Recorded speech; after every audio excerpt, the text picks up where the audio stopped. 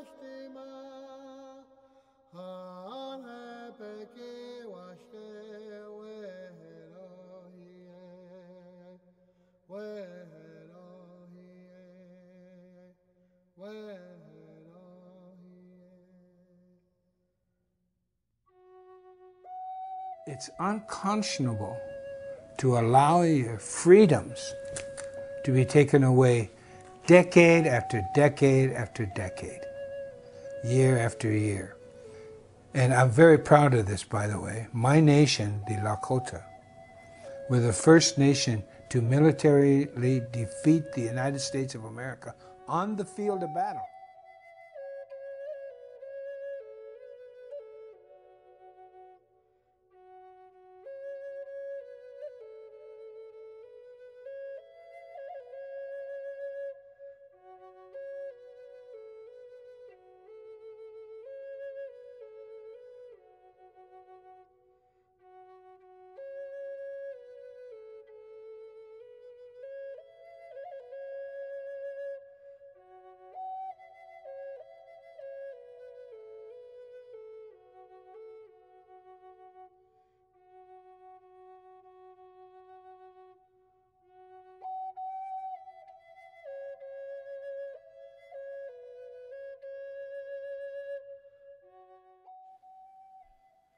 Today, on the three major Lakota reservations, Rosebud, Standing Rock, and Pine Ridge, everywhere you look you will see old public housing, broken by the decades.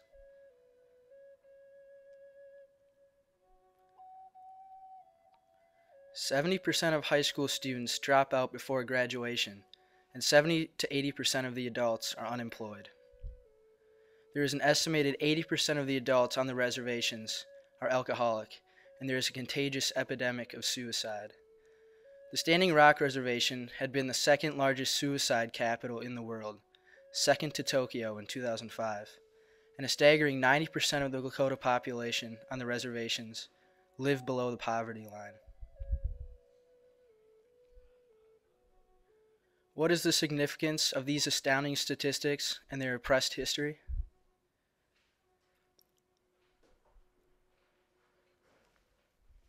The United States has broken every treaty ever made with the Lakota and has stripped them of their lands, their language, and their culture. The people, unable to fully experience their culture, have turned to drugs, alcohol, and suicide. Yet today, the University of North Dakota, among other U.S. organizations, glorifies the Sioux image as their mascot and logo. The university has essentialized the Lakota image as the fearsome fighting Sioux mascot, misrepresenting the people and the relationship the U.S. has had with them over the years. The NCAA has recently banned the logo's use at the University of North Dakota, deeming it offensive and derogatory towards the Sioux tribe.